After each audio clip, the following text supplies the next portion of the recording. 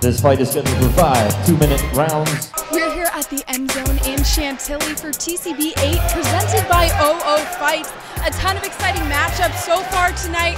Stay tuned right here for all the excitement coming up.